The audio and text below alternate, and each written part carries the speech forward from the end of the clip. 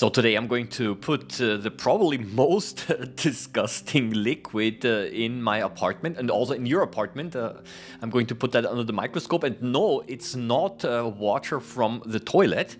Uh, this here is uh, full of bacteria. We're going to show you, I'm going to show it to you under the microscope and yeah, hi, hello and welcome, Microbe Hunter here.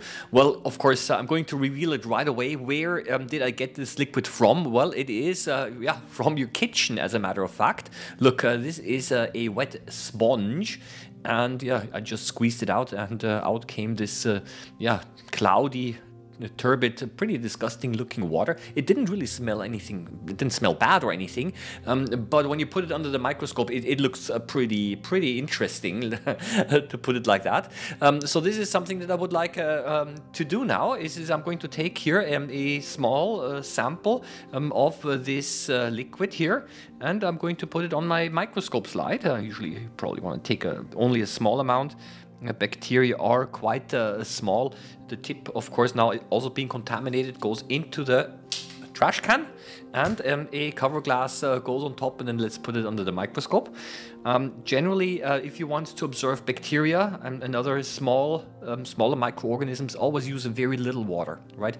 Um, because the bacteria otherwise are going to swim vertically and that's uh, then more difficult uh, to observe. So let's uh, switch over into the microscope view. Well here, this here is now um, at a fairly low magnification. I'm using only my 10 times objective and yeah, that's basically what we see.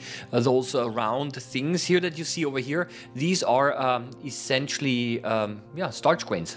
so nothing unusual. Let me uh, get the arrow here. These here are starch grains uh, from the food, uh, yeah, um, some other unidentifiable material. But um, actually, I'm not seeing so many so, so many uh, microorganisms here. So um, what's really going on here? Well, of course, I have to go up with the magnification. Yeah, and here we are already able to see a little bit of movement, uh, a tiny uh, yeah, uh, uh, tiny cells that are moving around. Uh, even at a 20 times magnification, we are already able to see those.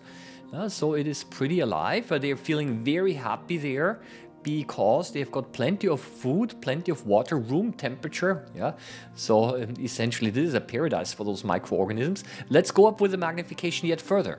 Yep, and this is uh, how it looks uh, like under the 40 times uh, um, objective. Look, uh, they're actively moving around, enjoying, enjoying the paradise that they're living in here.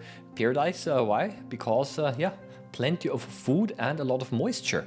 So essentially uh, that is uh, an ideal breeding ground for those uh, microorganisms. Where did they come from? Well, um, those microorganisms are a natural part of our environment, but when they find ideal conditions to reproduce, then this is what they're gonna do, right? Um, and uh, generally a kitchen sponge is not uh, yeah, cleaned quite as often uh, or disposed of as often as maybe other things in our apartment. And so this basically means means that it's uh, very frequently overlooked um, and uh, the bacteria within a few days essentially have a very um, nice possibility to um, yeah multiply exponentially. These here are not bacteria um, in the center right now. They, they, look much larger. They could be either ciliates or flagellates those two cells here in the center right now. Uh, they're way too large uh, for bacteria, but let's uh, let's uh, zoom in a little bit more. Yeah, look at this here. the, higher the magnification, the more we're able to see. Well, um, I'm going to now switch um, also over to phase contrast. Uh, phase contrast allows us uh, to observe specimens that are generally uh, difficult to see because they are of low contrast and transparent. But phase contrast microscopy um, increases the contrast. Yep, and here we go. And uh, yeah, see all of those tiny dots here? Some of them are moving, some of them are not. All of those tiny dots here, these are individual bacteria. Yeah? And as you can see, uh, some of them are motile and uh, they like uh, to swim around in the water while others just uh, stay put um, yeah, where they are. In any case, I think a fascinating little uh, microbe zoo here that I've got.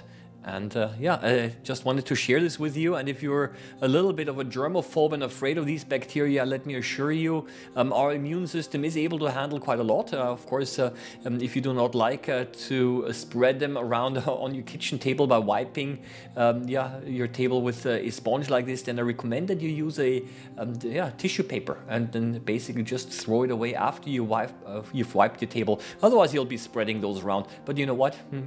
Yeah, interestingly, uh, we don't become ill quite as quickly, right? Uh, but still, now knowing uh, that uh, these microorganisms uh, are so concentrated in the spongia, I'd probably avoid it. Well, I would like uh, to, of course, thank all of my supporters, um, supporters uh, of this channel. I want to wish you all the best. Um, happy microbe hunting as always, and see you around in the next video. Bye bye.